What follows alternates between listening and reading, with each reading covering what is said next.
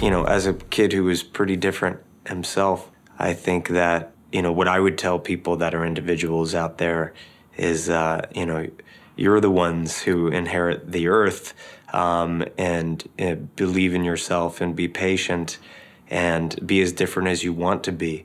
Uh, you have every right to do that. Uh, and it may be difficult and lonely at times, but there is no greater privilege than owning yourself. You, you have bad days, and you know from the outside, people may look at my life and think that everybody's everything's good all the time, and it's really just not the case.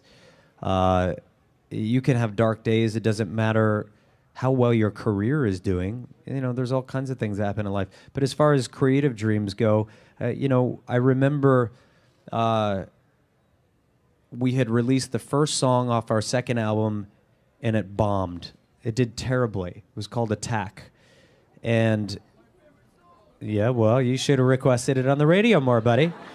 Uh, because nobody else thought so. And, you know, maybe there were other forces working at that time against us. Um, but I thought it was a decent song as well for the time. Uh, but it bombed. The record company wanted to drop us. They actually did. They called our management and said, We're dropping the band. Um, somehow, you know, they convinced the, the, the head of the record company, Jason Flom, the guy was in there, to come to see us one more time at Madison Square Garden. We were opening for Audioslave, uh, and the crowd hated us, right? they hated us. It was just a, it was a the crowd was largely there. It was made up of Soundgarden and Rage fans, a lot of older people, and they just were like, "Who are these weirdos on stage? Will they get out of here?" Uh, but anyway, we played that show, and and the president of the record company, who had wanted to drop us, he decided to give us one more shot. But that time was really brutal, you know. It's our second album. We knew if we got dropped, it would be very difficult to ever find a way to make music and share it again. This was way before, uh, uh, you know, iTunes. It was way before uh, Facebook, and it was way before YouTube. It was way before it was so easy to make and distribute music and share your work online. Um, you know, so it was a challenging uh, time and really dark. But I decided to direct the video myself. It was for a song called "The Kill." They released it and it changed our lives. So, you know, and that that story has kind of happened more than a few times in our careers.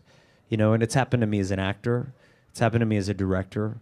I've looked at things so many times, videos that you guys see now and think, "Oh, that's pretty good," and just wanted to like rip my eyeballs out. It was so bad.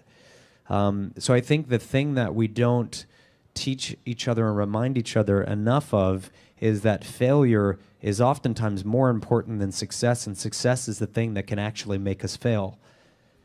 It's really important to, to note what the lessons are to learn in failure. And uh, it happens a lot. It doesn't feel good, but it's a necessity. I think I have an insatiable appetite to make things and share things with the world. I have, uh, you know, I'm compelled beyond a reasonable doubt to do what I do. I don't think that it can be a uh, a reasonable or logical choice. I think at a certain point you're compelled to do it. It's too painful, too brutal, too neurotic of a path to take otherwise. Sorry, my mic is making noise.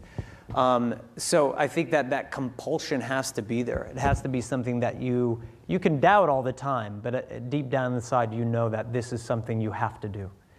And uh, you know, I think I've dealt with some of the adversities, some of the challenges, of which we've had many.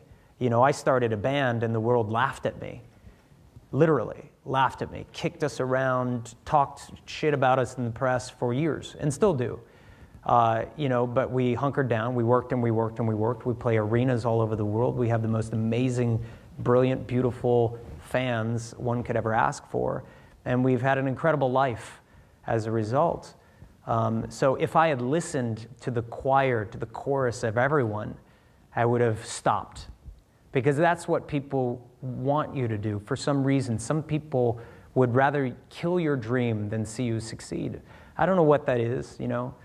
I mean, Ayn Rand talks about that as the looters, you know, we can debate her and that some other time. But, uh, you know, I think it's important to be uh, stubborn and to, to follow your dreams no matter what. It's so important to fight for what you believe in.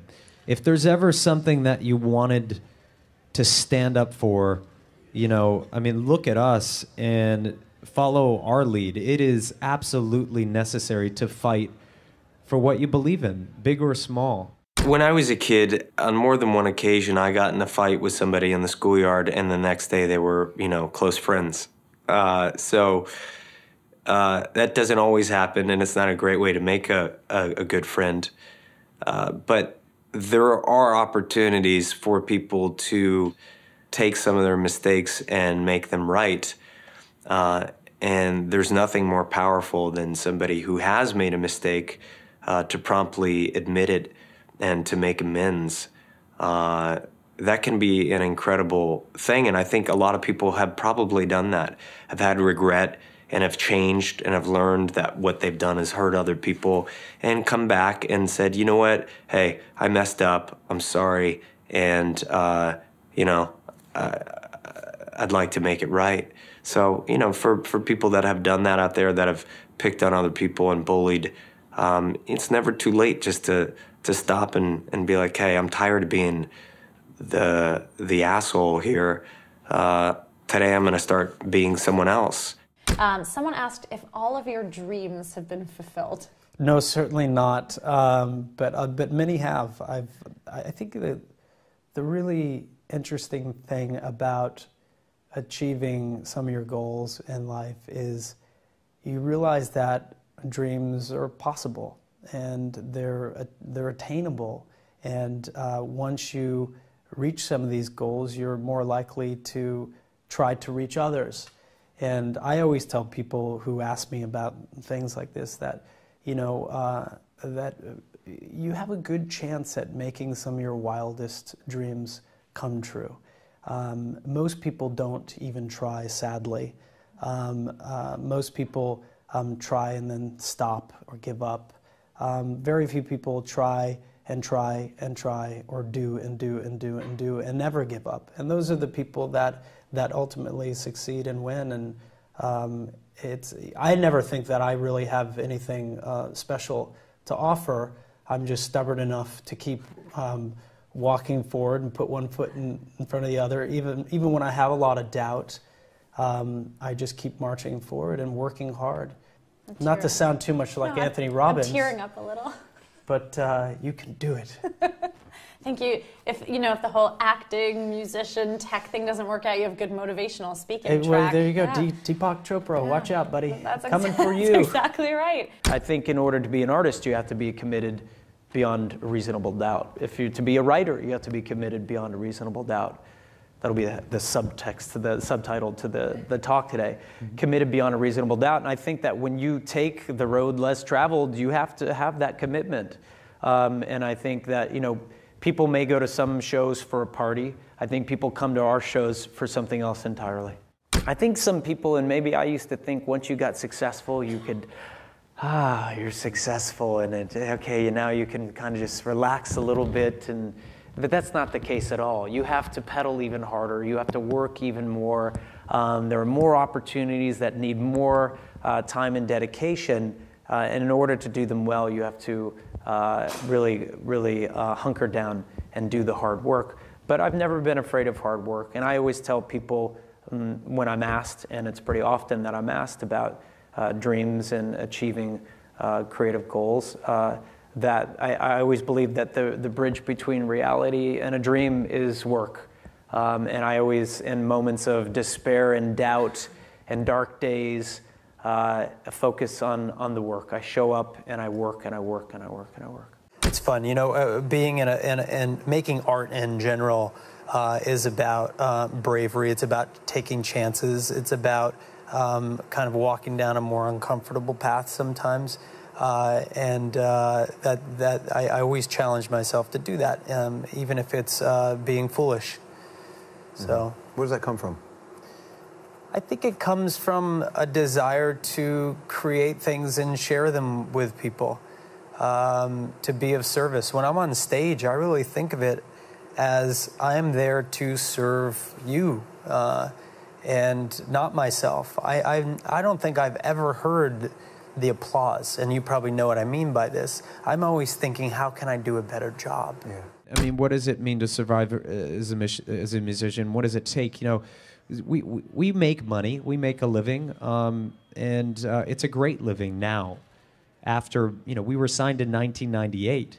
So we, we invested in ourselves time, energy, passion, blood, sweat, tears, as well as uh, other things. And, you know, it took a long time. And now we have an incredible touring life. So the touring is really where most artists uh, pay the rent.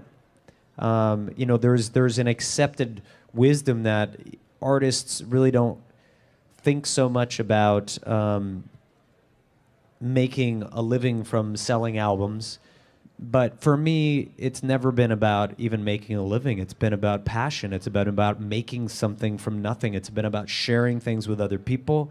It's been about creativity, and it's been about dreams. And that's what it should always be about.